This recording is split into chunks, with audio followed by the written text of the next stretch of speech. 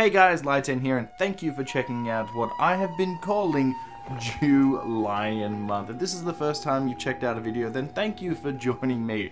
If you have been watching all month, then today it's going to be the time where I talk about the final movie in the Lion King series as my poster falls to the floor. I'll be talking about The Lion King one and a half and seeing if it's worth it. July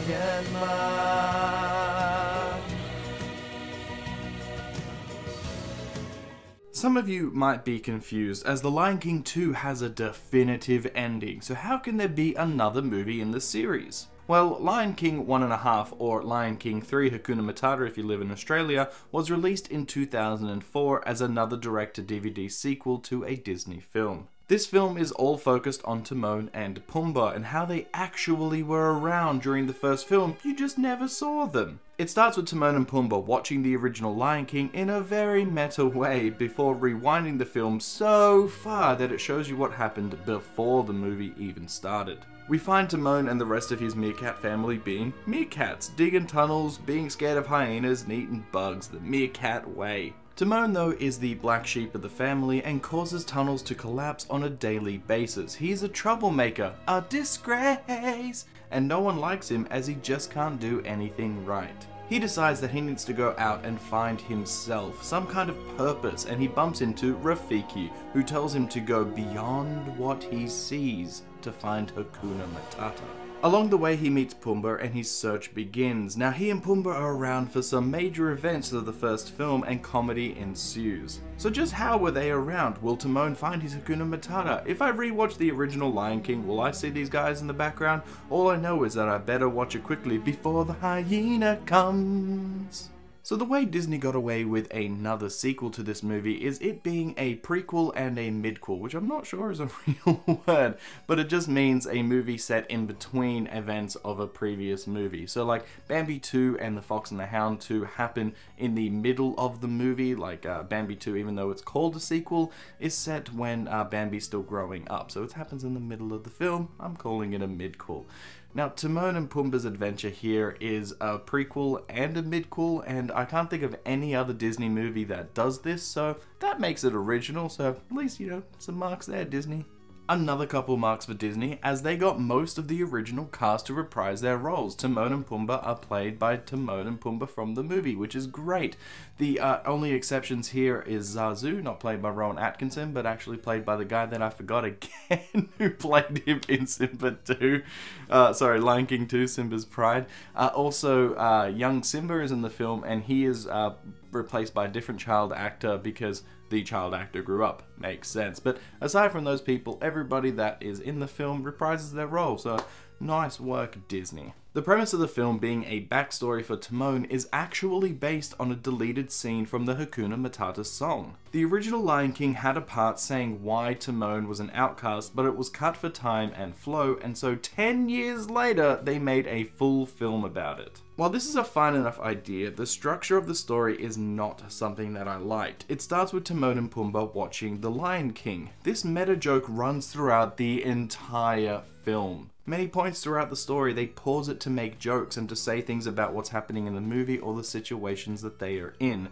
These jokes really break the flow of the movie more often than not, and it didn't need to be a part of the film. They could simply have started with Timon and his family troubles and then moved on from there. That would have been more than enough. So let's talk about the story of the film. Timon being an outcast is fairly evident from the original film, and now we get to find out why he is an outcast. It's because he's not very good at being a meerkat. Every other meerkat likes to dig tunnels, eat bugs, and, uh, you know, search for hyenas and stuff, while he just can't do it. He tries to install a skylight into a tunnel, and I'm like, that's not the worst idea because wouldn't it just be a hole to the surface and meerkats, you know, make holes to the surface anyway? So I don't get how that was a bad idea and caused the entire cave structure to collapse. If anything, it should have been he was trying to dig a new type of tunnel and then it collapsed everything. I don't know, it just seemed really weak for a motivation for him to be uh, this meerkat that's not a very good meerkat. Then uh, he gets put on sentry duty, which is another meerkat trait, and instead he busts out into song and dance, which actually does feel very Timon, and because of that, he doesn't see the he doesn't see the hyenas come, and everybody gets like put in danger. Whilst the first part and the first the setup doesn't feel very Timon, the second part does. I think they should have changed his background to be more like the deleted scene, in that Timon doesn't like the hustle and bustle of the busy meerkat life. He is lazy and he daydreams all the time, and while we did get that daydream sequence in the final movie, the skyline thing just was not good. Another idea for his backstory is maybe he had a bad sense of smell, so he can't dig properly or be on sentry duty as both of those require smell. That could be explained why he could be next to the very pungent Pumbaa and not be affected by it. Early on in the film, Timon meets up with Pumbaa and a friendship, or should I say acquaintanceship, is formed. Now personally, I like when a story has some parts told from another perspective. It can be fun and change up the format. So this part of the film is something that I like. I mean, it's really forced, don't get me wrong, and I don't believe for a second that Timon and Pumbaa were actually at a lot of these places. Like, honestly, they were there when Scar was singing his Be Prepared song, and they didn't get seen or eaten. I, I don't fully believe it, but like I said, it's fun. And in my opinion, the really fun part is when they start raising Simba. This expanded upon part with Simba being the ultimate bachelor bro is a lot of fun and I think it should have been an entire movie in and of itself because it's a fairly good idea. We don't get to see much of Simba growing up. It's pretty much he gets there, we see the song Hakuna Matata by the end of the song he's grown up. So there's a lot of opportunity here and I like that they did touch upon some of it and did say like some of the silly jokes and stuff that we all thought like walking over that bridge is like, oh, we're gonna, we've walked over this bridge so many times, it's gonna, you're like gonna grow up on here, or something silly like that. That joke was so good, apparently, they even used it in the live action film. But I digress. This section of the film is uh, one of the better sections in my opinion, and it really should have been more expanded upon. I think the comedy here is good, but they changed one fundamental part which I don't think they should have. Instead of Timon and Pumbaa being bachelors with Simba and growing up to be his ultimate bachelor bro like I keep joking about, they instead become his step parents. Timon acts more like a stepfather than a bachelor bro. They, instead of hanging out and having fun and doing all silly things, which they still do, Timon is worried for Simba and is trying to take care of him like a father. This completely changes the dynamic of their relationship and not in a good way, especially when you watch the original and you see that he is just this bachelor guy hanging out with his bachelor friends. And then, like, it's just like they're just bros. It doesn't have this feeling of we've raised you. Uh, it's more like we're best friends, and uh, it changes it a little bit here, and I don't think it's for the better. The start of the film has this idea that Timon left to find himself and to find Hakuna Matata, and it is the driving force of the film, and honestly, the message is good. He finds that his friends and family are his no worries. They make him happy, and that's fine, but oh boy, the start and the end of the film really feel like they don't connect in the middle. Timon is an outcast, and the only person that likes him is his mother, played by the same actress that does Marge Simpson. They have a nice relationship, and when he leaves, she goes after him, but not really. She doesn't turn up again until it's convenient for the plot, and then they fight some hyenas together, and for some reason Timon with his great ability of ruining tunnels helps defeat the hyenas.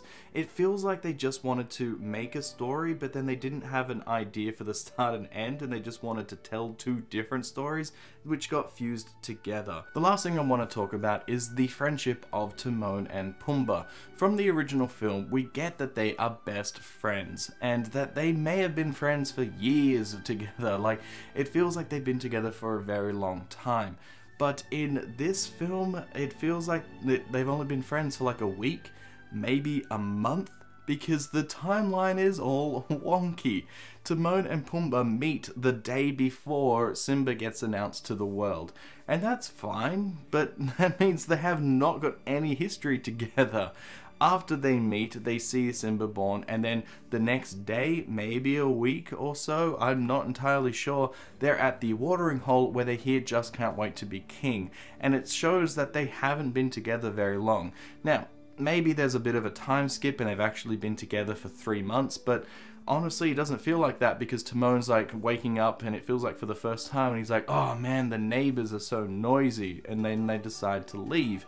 Uh, it, they probably wouldn't have done that if it was just one day that it was noisy out of three months. So, I don't know.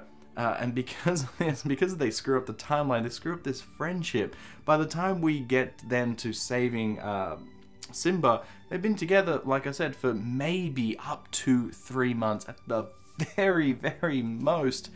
And it just makes it feel like uh, their friendship is a lot more shallow. It's not as together as it used to be. The humor in the film is both hit and miss, which is like all of Timon and Pumbaa in my opinion. I laughed at some parts and I didn't like others, like the long drawn out scene with Timon picking his nose. It just wasn't funny.